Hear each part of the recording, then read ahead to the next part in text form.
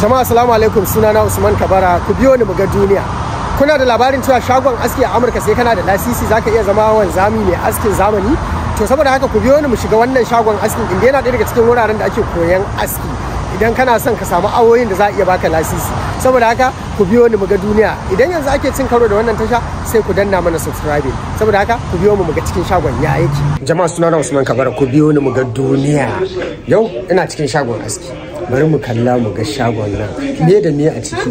Shagon aski ko a najeriya sana'a ce mai muhimmanci. Saboda haka bari mu ga me yake cikin shagon nan da yanda suke yin sana'ar tasu. Saboda haka ku zo mu ci idan yanzu ake cin karo da wannan tasha to a latsa mana subscribe. Domin kuwa ta haka ne muke bunƙasa. Ku biyo To wannan shine shagon ko kuma wajen da ake aski sannan kuma ana koyan aski. Gashi nan baba professional institute ce wannan wato makarantar koyan aski shi aka sa professional baba idan za ka koya to sai ka zo nan. Ka yi karatu na koyan aski kafin a baka damar ka yi aski a amurka.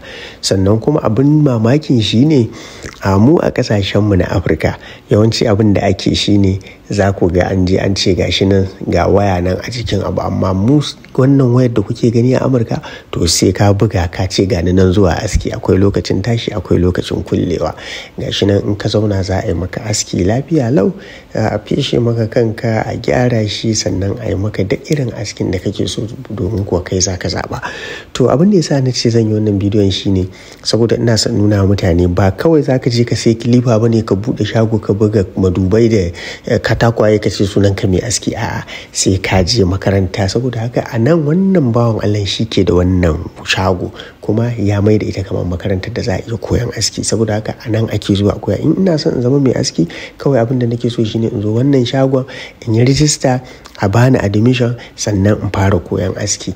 Akalla ba za ka iya karɓar lasisin zama mai aski a amurka ba sai ka koye shi akalla tsawon wata goma.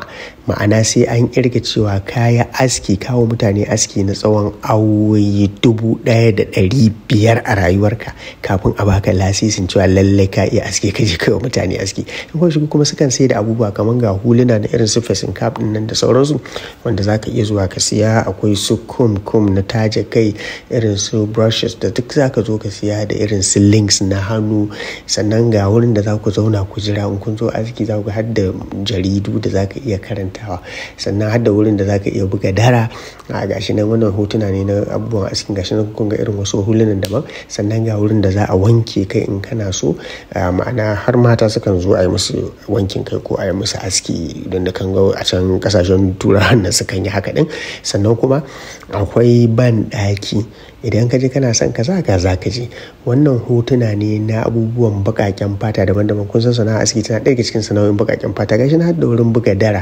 Idan kuma bayan gida ne ko kamar da ce da bawali ya kama ka ga bayi nan za ku ga an sa alamar namiji da da mace za ta iya shiga ko zai iya shiga.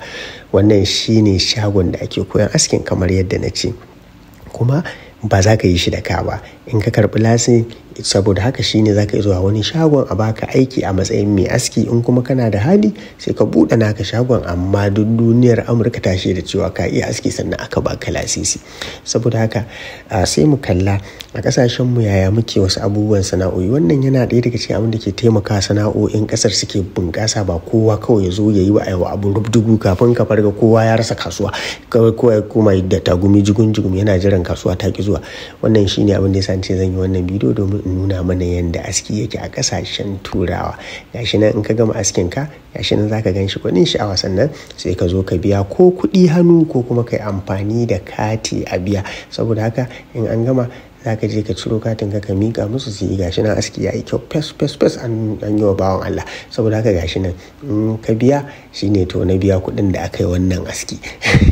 Gashi nan shi kuma mai askin a ƙarshe za ku ga an rabu lafiya da fara'a har ma ƙarshe suka dinga hoto da yara saboda mai ya ji daɗin nan ne suke zuwa su yi aski. Amma ba kamar yadda nace ku tuna sai ka kira waya ka yi bukin kafin a maka aski ba. Kawai zuwa za ka kutsa kai ka ce yi min aski ba kamar yadda muka saba. a to masu sana'ar aski kenan amurka da yanda ake karɓa lasisi da kuma yanda shagon yake kun dai gani. Saboda haka ku biyo ni maga duniya kar a manta da subscribing sai mun haɗu a wani bidiyo